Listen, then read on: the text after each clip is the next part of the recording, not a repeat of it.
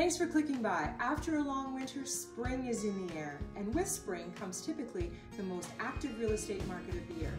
I'm sure that you have heard the market is on fire, with high demand from buyers and very low inventory. But what does that mean for sellers? Current market conditions are strongly in favor of you as sellers. That means that in most cases you get to pick your terms, your preferred closing date, less conditions, and hopefully multiple offers driving up the sale price of your home.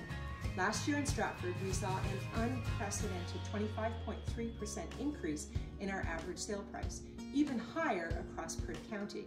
And that trend has been continuing in 2022. But the market is fluid, and what is true today may not be true next week.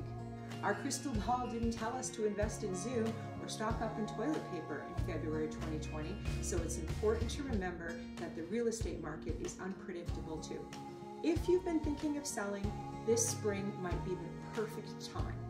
If you're not sure where to start, that's where I come in. I would be happy to chat about the market, your home, and your options. And if the move is not in your immediate plans, but you would just like to know what your house might be worth in today's market, or are unsure of what renovations will add value, please call or email me.